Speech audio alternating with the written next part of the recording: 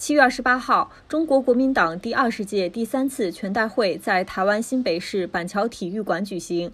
中国国民党全代会正式提名高雄市市长韩国瑜代表该党参与二零二零年台湾地区领导人选举。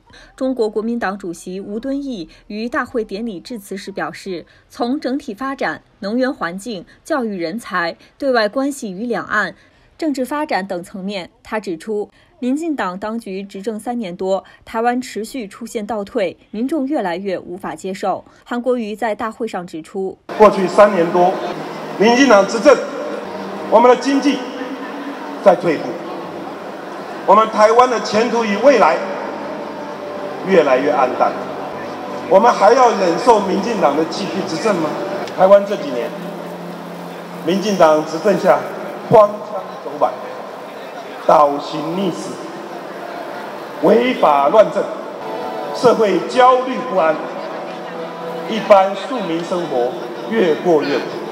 韩国瑜表示，过去并不平顺的政治路，促使他了解基层需要与庶民所求。我们一定要全心全意打造一个台湾安全、人民有钱的台湾奇迹，经济的奇迹。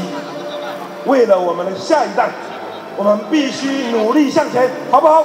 国民党不能再软弱，国民党必须重新强大的站起来。所有党内先进同志，我们做好了准备吗？我们够团结吗？我们有信心吗？我们有勇气吗？国民党此次大会设定的目标是在二零二零年一月十一号台湾地区领导人选举中获胜，同时在立委选举中取得六十席，争取立法院席次过半，将民进党背离民意和整体利益的法律与政策拨乱反正。目前，民进党已决定现任当局领导人蔡英文争取连任。另一位备受各方关注的潜在竞争者是台北市长柯文哲，尚未明确表态。媒体则报道并揣测他的许多动作。